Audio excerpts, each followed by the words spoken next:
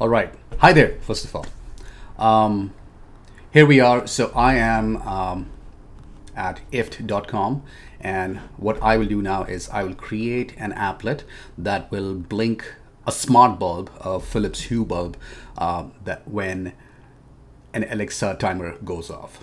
Okay, so what I'll do from here is I will go to my applets and from here I'll create a new applet and uh, this is where I'll say okay if this happens which is you know when if Alexa timer goes off right? So I will choose Alexa as a service.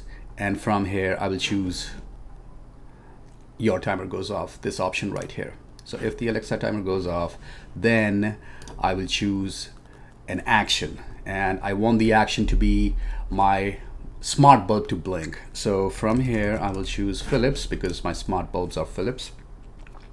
And I will say blink lights. This is the action I'll choose.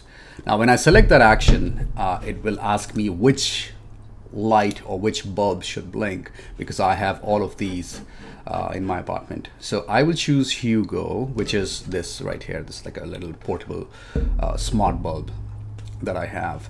Uh, so I'll choose that and I'll say create action. And that's pretty much it. So now I just click finish and this applet is now ready to go. It's functioning. So let's test it out. What I'll do now is, uh, here's my little friend Alexa. And uh, so I will set a timer and we'll see how this light blinks, okay? We'll set a short timer.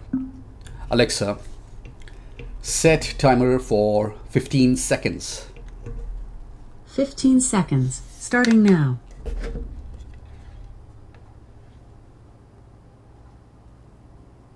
Should have done like 10 seconds maybe.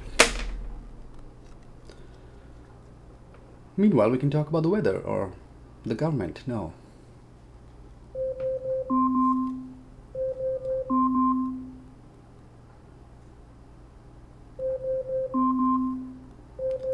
You see that? So the timer went off and within like a couple of seconds, Alexa, stop timer. Within a couple of seconds, the Philips Hue bulb went off. So anyone who is deaf, uh, who cannot really hear the audio uh, notification from Alexa can actually just, you know, uh,